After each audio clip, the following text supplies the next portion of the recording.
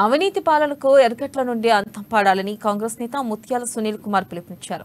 నిజామాబాద్ జిల్లా ఎర్గట్ల మండల కేంద్రంలోని శ్రీ లక్ష్మీ నరసింహస్వామి ఆలయంలో ఆయన ప్రత్యేక పూజలు నిర్వహించారు. అనంతరం బస్టాండ్ స్తూపం వద్ద స్థానికులతో మాట్లాడారు. పదేళ్ళుగా నియోజకవర్గంలో మంత్రి ప్రశాంత్ రెడ్డి విపరీతమైన దోపిడీ చేశారని ఈ దోపిడీ పాలనకు తెరదించి కాంగ్రెస్ ప్రభుత్వాన్ని గద్దెదెక్కి గద్దెనెక్కించాలని కోరారు. ఇక బీఆర్ఎస్ ప్రభుత్వంలో రాచరికం తాండవిస్తుందని ప్రజలను బానిసలుగా చూస్తున్న బీఆర్ఎస్ను ఓడించాలని పిలుపునిచ్చారు.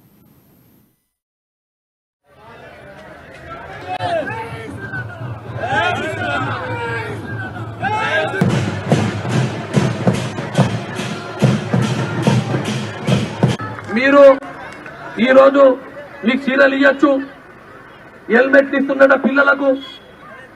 ఇంటింటి గడియారాలు పంపిస్తున్నాడట. ఇదంతా డబ్బు ఎక్కడదో కూడా మీరు అందరు కూడా ఆలోచించుకోండి.